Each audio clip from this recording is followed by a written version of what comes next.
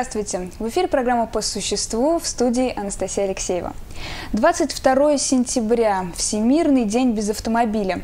Проводится он с целью пропаганды пешего и велосипедного движения, а также использования общественного транспорта.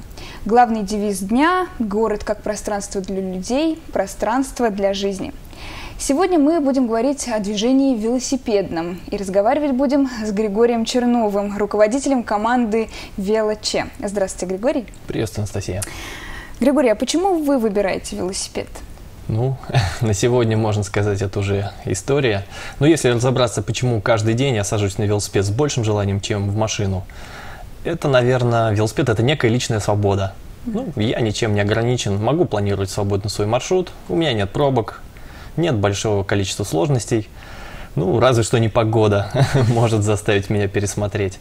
И еще недавно думал об этом и понял, что велосипед – это отличный антистресс. Это отличная возможность побыть наедине с собой.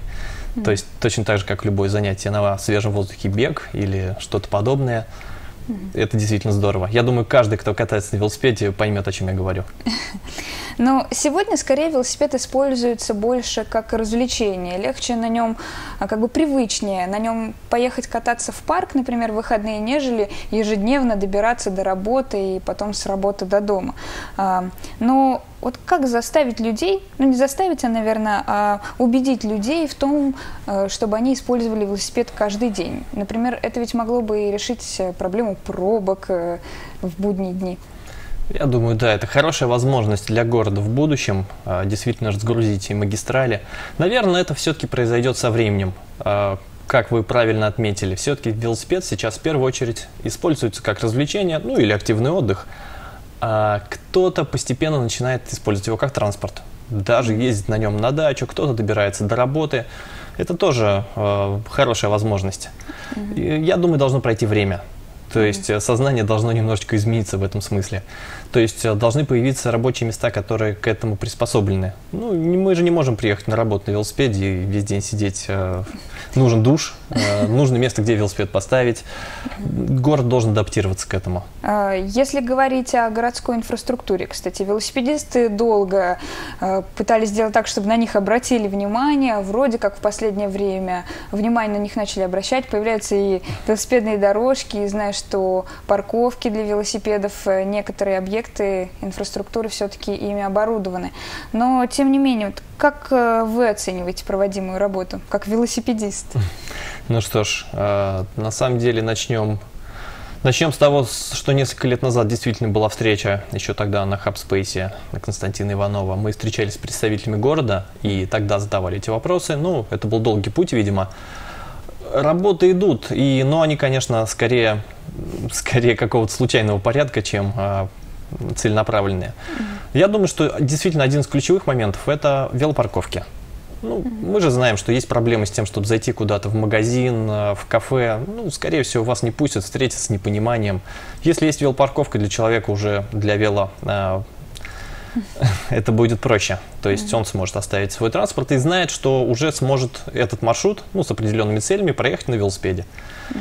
Велодорожки это значительно более сложная тема, потому что то, что вот совсем недавно нарисовали в городе, ну, я думаю, что это пока по большей части это больше, по, больше похоже на муляж, чем на что-то рабочее. Mm-hmm. Потому что первая попытка была на заливе, ну, мы помним, то есть они вот э, располовинили дорожку и нарисовали на ней знак, но ну, вроде очевидно, что вместе с этим должна провестись какая-то работа, э, ну, информационного характера, то есть, mm-hmm. я не знаю, может быть, и велотаблички снабдить, может быть, э, ну, пытались, кстати, провести мы какой-то велопробег, э, ну, mm-hmm. то есть, нужно, нужно, нужно, чтобы это постепенно в головах и пешеходов, и велосипедистов укладывалась мысль, что вот, ну, ребята, мы на велосипедах едем здесь, Поэтому пешеходам здесь ходить просто небезопасно, потому что на сегодняшний день понимания нет никакого. То есть для чего эта велодорожка? Ну, вот, кстати, да, едешь по велодорожке, а пешеходы привыкли, что весь тротуар, который теперь не весь, принадлежит им.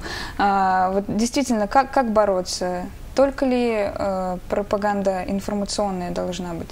Ну, я думаю, что если, ну, мы коснемся сейчас велосипедистов, угу. конечно, это дело всех и каждого. То есть, ну, каждый должен для себя решить. То есть, вот я еду по велодорожке, желательно это делать все вежливо, аккуратно, то есть, ну, не конфликтовать. И тогда, я думаю, со временем э, просто и пешеходы начнут замечать, что, ну, не просто же так.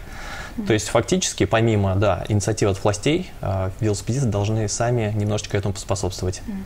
А велосипедисты сами едут по этой велодорожке или пока все-таки им тоже принадлежит как будто бы весь тротуар? Да, я думаю, что они сами еще не готовы. То есть, и, наверное, должно пройти время, но, естественно, их нужно как-то к этому подбивать. Угу.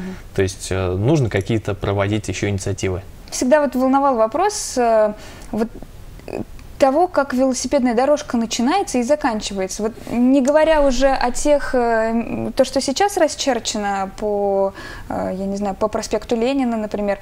Вот, допустим, велосипедная дорожка на пешеходном мосту на заливе, да, а, она вроде как началась, вроде как закончилась. Куда дальше деваться велосипедисту? Дальше начинается тротуар. Все верно. Ну, это же сугубо виртуальная штука получается. То есть, да, вот вам отведено место, вы здесь едете. Ну, не совсем понятно, как, как с этим обращаться, есть ли какая-то логика. В принципе, ведь много очень стран, много даже городов других, где все это решено ну, на таком очень высоком уровне. Э, и логично все это сделано. Можно просто почерпнуть чужой пример. Я надеюсь, когда-то наши власти просто до этого дойдут. Я ну, не буду сейчас говорить про Европу. Э, это слишком далекий пример. Есть много городов вот в России, те же набережные Челны, то есть там очень грамотно все сделано, и люди этим пользуются. Я думаю, что нужно, нужно за этим примерами куда-то сходить и применить их на жизни. Вот как в набережных Челнах? То есть там, там вплоть до того, что, в принципе, ну, по велосипеде можно проехать по всему городу, это будет действительно велодорожка. Угу. Но там она сделана так же, как у нас, как часть тротуара угу. пешеходного. Естественно, в некоторых городах это организовано как часть э, автомобильной дороги. Ну, тут уж тут надо смотреть. Mm-hmm. Потому что на самом деле, так же, как и машина представляет опасность для велосипедистов, так же и велосипедисты представляют опасность для пешеходов. Mm-hmm. Это сложный вопрос на самом деле. То есть, если вы едете со скоростью 30 км в час и сбиваете, ну, не дай бог, конечно, пешехода, естественно, последствия будут нехорошие. А что бы хотелось увидеть в городе из велоинфраструктуры еще? Может быть, есть не только парковки, дорожки и что еще может быть? Какие объекты? Да, по большому счету, это все, что нужно. Просто их нужно сделать действительно законченными.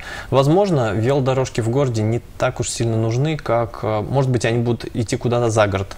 Угу. Ну, у города есть одна всего велодорожка э, хорошая, которая идет вот от контура в сторону э, поселка Харкасы. Ее все знают. Да, ее, ее все прекрасно знают. Угу. Да, и кто-то и даже вот присвоил такое название. И, в общем, конечно, что-то подобное должно появиться в других направлениях. То есть тогда люди спокойно, независимо от наличия дороги и ну, не соседствуя с автомобилистами, могли бы передвигаться. Ну, в других направлениях это в сторону Заволги или Новочебоксарска. Ведь действительно отличный проект соединить Новочебоксарск и Чебоксары. Ведь э, точно тогда больше людей стало бы перемещаться mm-hmm. на велосипедах. Я в этом уверен. Что говорить о спортивной форме, например, сложно ведь преодолеть большие расстояния, если ну, ты не совсем спортивный человек. Велосипеды современные очень подготовленные к любому, к любому уровню формы, то есть, в принципе, даже не обладая каким-то э, ну, физическими данными существенными, можно спокойно передвигаться. Поэтому, в принципе, всем добро пожаловать. Каждый для себя может открыть это удовольствие. Что ж, Григорий, спасибо вам большое за беседу. Я напоминаю, что у нас в гостях был Григорий Чернов, руководитель команды ВелоЧ. А мы с вами прощаемся. До новых встреч.